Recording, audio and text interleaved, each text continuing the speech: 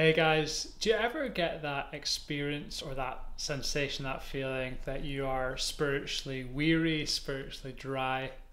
If you do, then I do not think that you are alone. Uh, talking with friends recently, there seems to just be a few people that are experiencing that, that are feeling that. And I don't think that's a surprise after the last 14 months or so uh, when I'm recording this that we've been in pandemic. Um, you know, if you're feeling you're lacking that spiritual vitality, it's that spiritual life, then you are not alone. You know, I would recognize that spiritual dryness in things like, uh, you know, not not feeling as motivated to read the Bible, struggling with prayer, trying. It's hard to engage uh, in your relationship with God. There's definitely been times where uh, I've had that sensation and there's been times over the pandemic where I've had that, but probably before that as well. There's been different seasons and different times where I felt that I'm just in a, you know, not in the most uh, vibrant of places in my walk with God, but that's okay. And actually, uh, recently wrote a, a poem called "A Desolate Place," which I'll put in the description, about a bit of that experience uh, recently. Um, but it's so important. It can all affect us all differently. You know, you even see it in the Bible. You see people like Elijah you know, one of the great prophets of the Old Testament. You know, he has this massive, amazing victory at Mount Carmel against the, the, the prophets of you know, false God, and then he goes into this sort of uh, he literally goes into the wilderness, into the desert, uh, and then he just lies down is like, God, I've had enough. I want to die. Um, and God gives him food, rest, and then uh, he's restored in that way. You know, King David, he was another guy in the Old Testament, one of Jesus' ancestors and it was maybe a bit more subtle for him where he was like you know he just sort of lost his connection with god. He lost his passion for god. He let his eyes and his heart wander and he committed adultery he committed murder. And it was only when his uh, the prophet nathan came and uh, challenged him on that that he realized that he'd gone off track in that. And we see in the psalms the sons of korah worship leaders uh, writing psalm 42 which is just talking about an expression, a longing of the soul. Uh, it feels dry, feels a lack of joy, and it remembers that, wow, I used to be passionate. I used to have so much joy, I used to have so much peace, but I've seemed to have lost that. These kinds of experiences are not foreign to the Bible, uh, they're not a surprise necessarily to God. So you need to know if you're experiencing that right now, you are not alone. Um, you know, all followers of Jesus that I know, anyway, uh, maybe there's some out there, uh, that's not, but actually that do experience these seasons of dryness. Um, let me let me share it. You know, in the same ways that uh, you know our our human relationships can't just be based on our feelings. You know, okay, I like you one day, then the next day I don't like you, or I'm in a good place one day and I'm not in a good place, not depending on what side of the bed that you get out of we, we know that our human relationships don't work like that. You know, life is a little bit up and down. There are different types of seasons that we go through in our emotions, in our souls, and that's okay. And actually, with our relationship with God, there are days where you know I felt disconnected or distant from God, and there are days where I felt closer to God as well. You know, and I've come to learn that I can't trust 100% my feelings on the matter which I'm so grateful for that my relationship with God is not based on my feelings. Thank God, right? Actually, we are saved by grace, by what Jesus has done on the cross for us. And that's why we're saved, not because we feel that we're in a good place. I'm encouraged always by uh, Charles Spurgeon, who said, When you cannot trace God's hand, you can trust his heart. So even if we're feeling a bit disconnected, maybe we're not sure where our relationship with God is at, we can still trust Him because He is good. Romans chapter 8, which is an incredible book. Uh, well, incredible, cha- incredible book, but also incredible chapter, Romans 8. Uh, it says in verse 35 What shall separate us from the love of Christ? Shall tribulation or distress or persecution or famine or nakedness or danger or sword?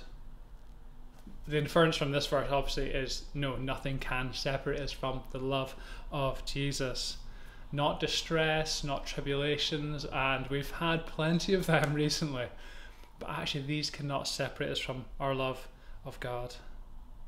You know, I think sometimes I need to take myself, my feelings, a little bit less seriously and take God and who He is even more seriously. His promises are secure. And we see throughout the Bible that there are just moments and times that of wilderness, of desert time, kind of seasons in people's lives. Actually, restoration always comes. That is one of the mega themes of the Bible of hope being restored, of faith being restored, of truth being restored. Where we're at, if we're feeling in a spiritually dry place right now, that is not where you will remain. There is always rescue in that.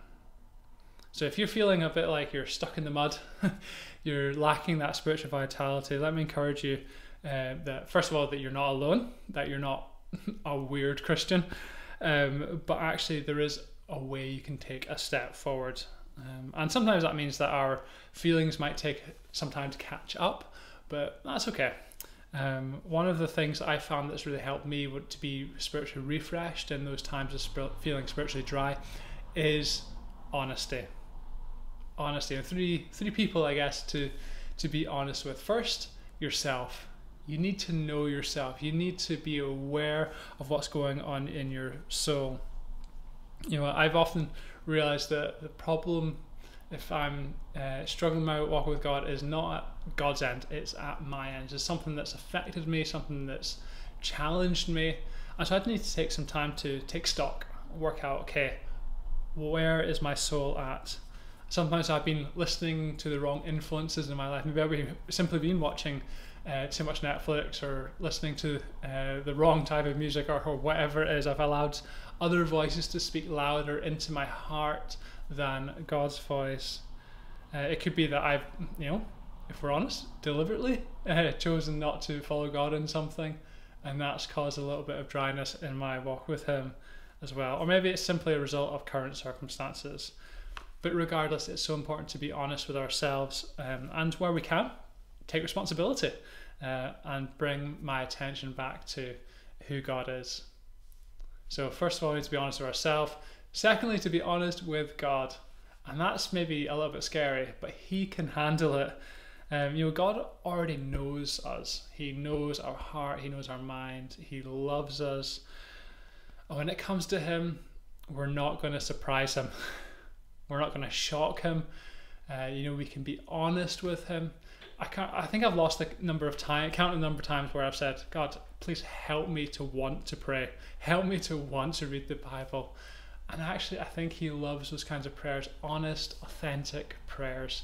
Absolutely. Let's be honest with him.